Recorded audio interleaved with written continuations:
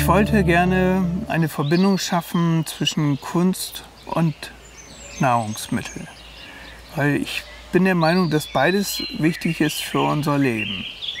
Das wird so manch einer als befremdlich empfinden. Für mich ist es ein Selbstverständnis.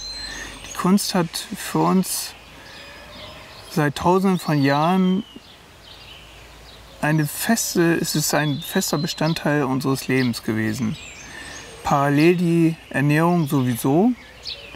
Und beides kann man immer wieder finden. Und ich brauche die Kunst zur Inspiration und ich brauche die Lebensmittel zur Erhaltung. Und sowohl das eine ist lebensnotwendig wie auch das andere. Ohne Inspiration fehlt mir der Antrieb. Und ohne Lebensmittel fehlt mir die Körpersubstanz. Dass wir das in unseren privaten Räumen haben, das ist wunderschön. Und das wechselt alle fünf Wochen. Alle fünf Wochen sind hier andere Sachen, andere Künstler drin mit ihren Werken. Äh, wir haben das hier in der kleinen Galerie, sowie auch in der Eisdiele, immer unterschiedliche Künstler, die das machen. Und das ist wunderbar.